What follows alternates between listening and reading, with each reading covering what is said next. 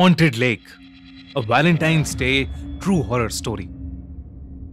जियोना बहुत खुश थी क्योंकि वो अमेरिका के मिशिगन शहर में अपने हस्बैंड थियोडोर के साथ वैलेंटाइंस डे सेलिब्रेट करने आई थी। जियोना ने वहाँ सब प्लान कर रखा था। वो लोग पहले पिकनिक मनाने पास के एक फॉरेस्ट में जाएँगे और फिर शाम को वहाँ एक पॉपुलर जगह लेक ह्यूरॉन की बीच पर बीच साइड डिनर करेंगे। पर उसकी खुशी कुछ देर की ही थी। क्योंकि वो दोनों जैसे ही होटल पहुँचे, थियोडोर को एकदम से ऑफ़िस की एक इमरजेंसी बिज़नेस मीटिंग का कॉल आ गया। वो बिज़नेस मीटिंग थियोडोर अवॉइड नहीं कर सकता था और इसीलिए वो होटल रूम में घुसते ही काम करने में लग गया। इस बात पर जियोना और थियोडोर के बीच में लड़ाई हो गई, क्योंकि थियोडोर पिछले बहुत समय से जियोना के साथ बिल्कुल भी टाइम स्पेंड नहीं करता था। चौबीसों घंटे वो बस अपने काम में ही लगा रहता था। उस दिन लड़ाई इतनी बढ़ गई कि जियोना गुस्से में रूम से बाहर चली गई। थियोडोर भी गुस्से में अपना काम करने लग गया। जब काम करने के बाद उसका गुस्सा कम हुआ तो उसे जियोना की फ़िक्र होने लगी। रात के दस बज रहे थे और वो अभी तक ना तो वापस आई थी, ना ही उसका कोई कॉल आया था। थियोडोर उसकी चिंता में उसे कॉल करने लगा। पर जब कई कॉल्स के बाद भी जियोना ने उसका फ़ोन नहीं उठाया तो वो उसे ढूँढने के लिए निकल गया। वो अपनी गाड़ी में बैठा और पूरा शहर खोजने लगा। उसने जियोना को पूरे एरिया में ढूंढा, पर वो कहीं नहीं मिली।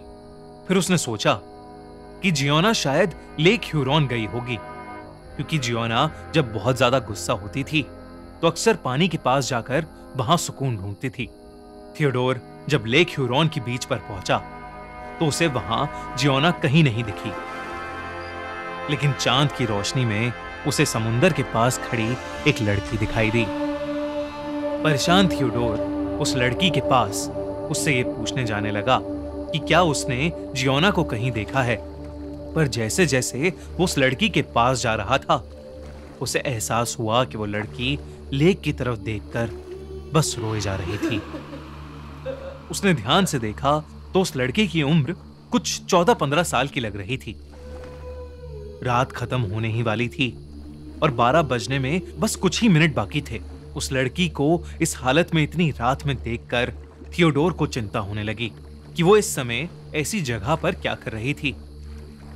थियोडोर उसके पास गया और उसने उस लड़की की इस हालत की वजह पूछी, जिसके जवाब में वो लड़की और ज़्यादा रोने लगी। फिर अचानक वो लड़की थियोडोर से मदद मांगने लगी कि थियोडोर उसको दूसरी दुनिया तक उसके सच्चे प्यार तक पहुँचा दे। पर इससे पहले थियोडोर कुछ कर पाता। वो लड़की उसकी आँखों के सामने हवा में गायब हो गई। थियोडोर को कुछ भी समझ नहीं आया और वो डर के मारे वहाँ से भागने लगा और भागते भागते उसे आखिरकार बीच के एंड में अपनी बीवी जियोना दिखी। उसने उसे देखते ही गले लगा लिया। और उसे अपने साथ ले जाने के लिए उसका हाथ पकड़ा।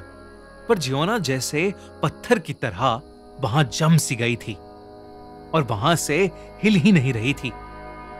वो बस लेक की तरफ़ देखकर एक ही चीज़ बोल रही थी, वो लड़की मुझे अपने साथ लेने आई है और वो मुझे अपने साथ ले जा रही है। थियोडोर को कुछ समझ में नहीं आया, लेकिन जब उसने जहाँ जियोना देख रही थी, उस तरफ़ देखा तो वो देखकर उसकी रूह काँप गई, क्योंकि वहाँ वही लड़की खड़ी थी जो कुछ देर पहले थियोडोर को मिली थी। पर उसका चेहरा अब पूरी तरह से नीला पड़ चुका था और उसका पूरा शरीर पानी में भीगा हुआ था। उसे देखकर ऐसा लग रहा था कि जैसे वो ज़िंदा ही नहीं हो।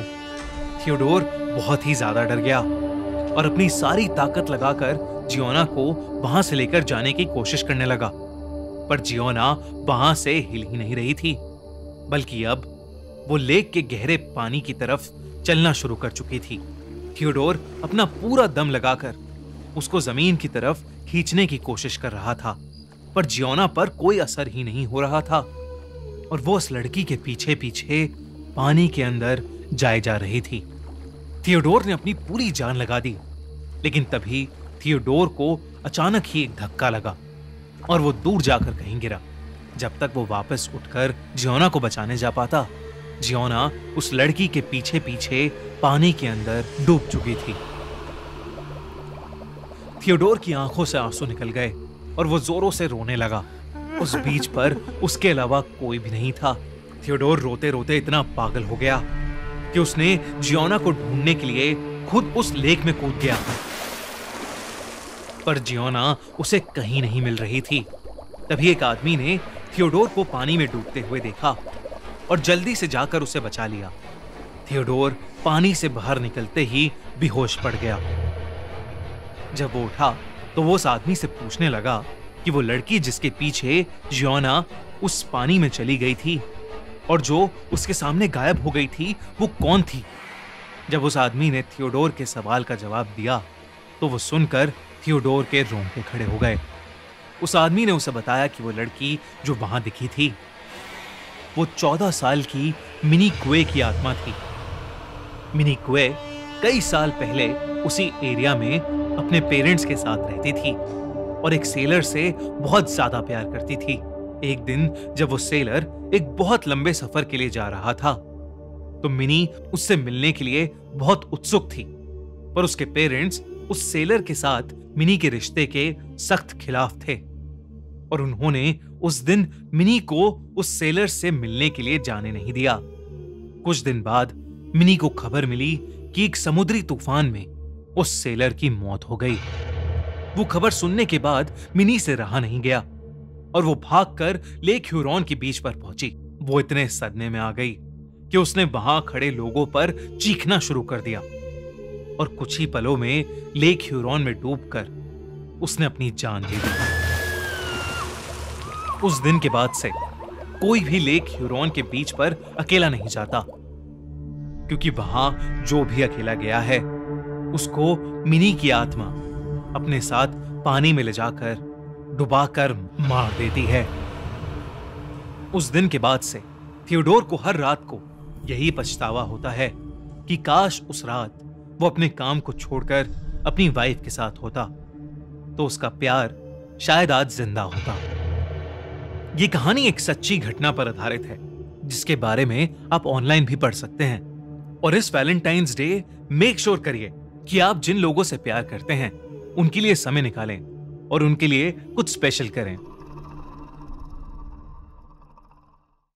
और अगर आपको एक कहानी अच्छी लगी तो हमारा चैनल खूनी मंडे सब्सक्राइब करना बिल्कुल मत भूलिएगा।